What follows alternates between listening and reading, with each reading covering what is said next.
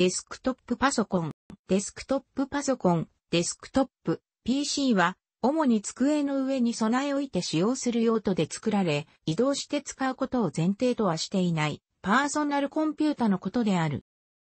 パーソナルコンピュータの筐体は、黎明期より机の上へ据え置くスタイルが主流であったが、ノートパソコンの前身である。ラップトップパソコンが普及を始めた1980年代中頃から、その対語として用いられるようになった。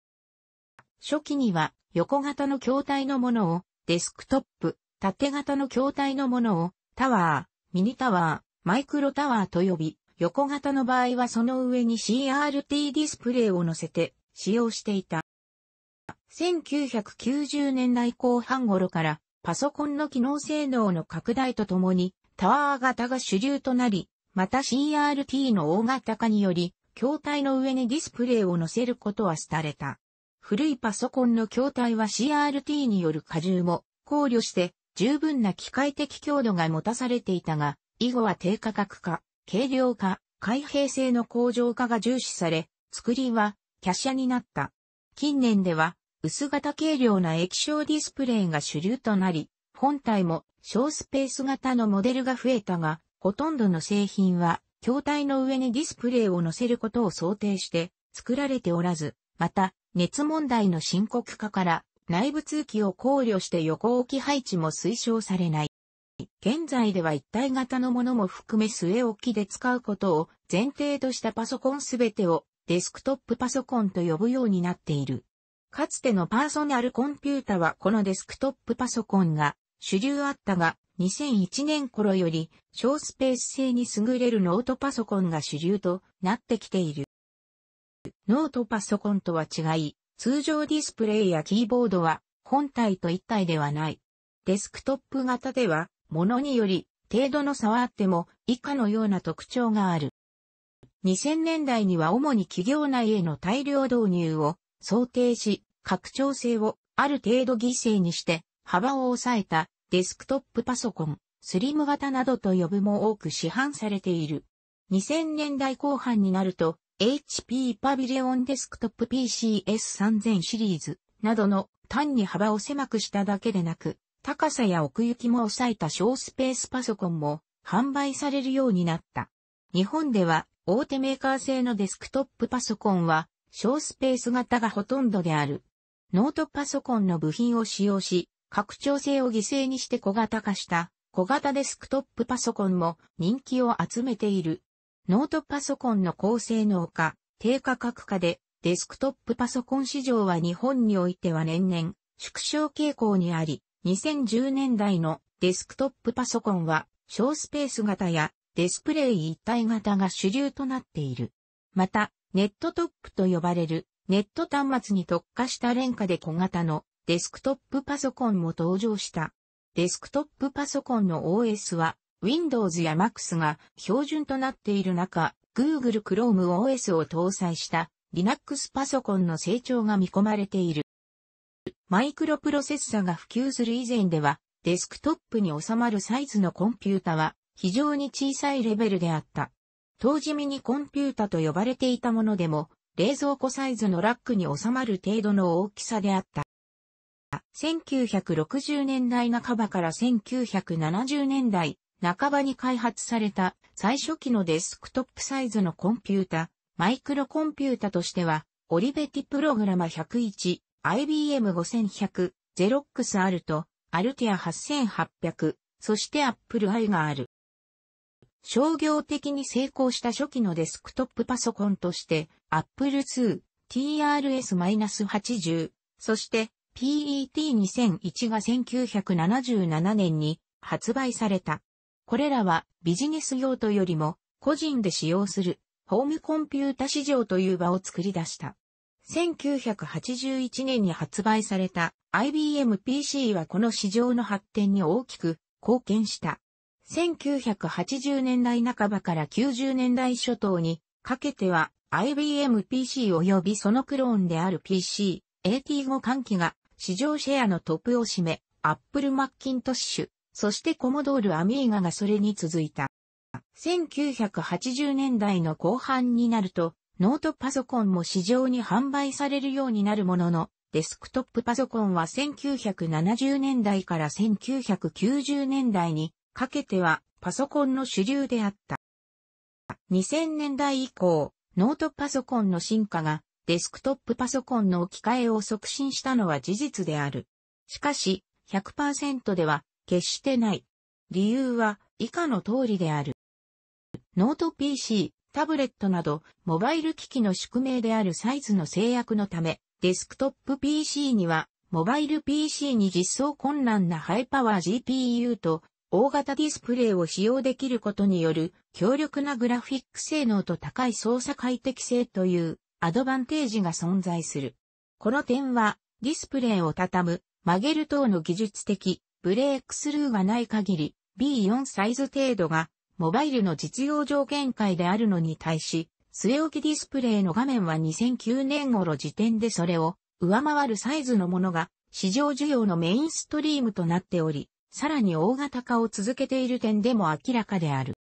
特に近年の強力な 3D グラフィック性能を要求するゲーム用 PC の分野は、なおもデスクトップの独壇場に近い様相である。ただし、最近ではゲーム映像の高精細化が頭打ちになりつつある。一方で、ハードウェアの性能向上はなおも堅調であり、ゲーム用を謳ったハイエンドグラフィック型ノート PC も登場している。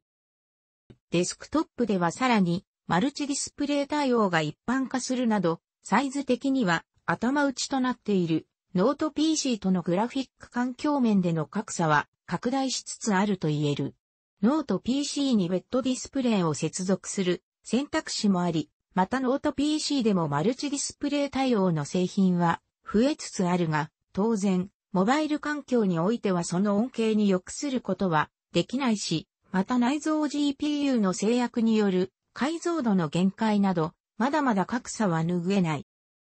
また現在の PC は動画、音楽等の各種メディアプレイヤーとしての用途も一般的になっているが、この面においても蒸気グラフィック性能に関しては、無論のこと、スピーカーや音源ボード等の拡張性、ファイルサイズの大きい動画を扱える、ストレージ容量と転送速度、CPU とメモリの能力等、デスクトップの優位性は明らかである。AV 機器も手掛ける家電メーカーでは、デスクトップ PC のハイエンドラインナップには、テレビやビデオの機能をも統合したメディアステーションとして付加価値を高めた製品が多い。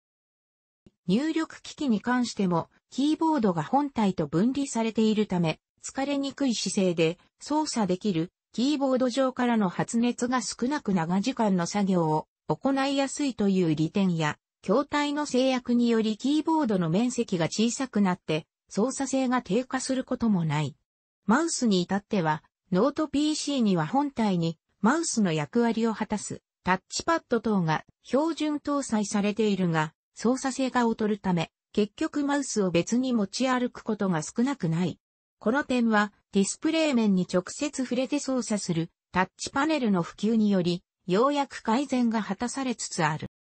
各構成品が分離されている、あるいは容易に交換できる仕様になっているため、ディスプレイやキーボードを好みの製品を選択できる。さらには、パソコン本体内部の構成部品、ハードディスク、メモリ、広角ドライブなどに至るまで、市販の汎用部品、製品が容易に入手でき、各構成部品、製品の交換や修理、さらにはグレードアップ、メインメモリの増設や大型ディスプレイへの交換度が比較的容易、安価に行えるメリットがある。ただし、メーカー製 PC によっては、ディスプレイと本体の接続に特殊なコネクタを用いている場合がある。また、パソコンの冷却は空冷方式が一般的だが、市販の冷却パーツを使用することで静音性の高い水冷方式にすることも可能である。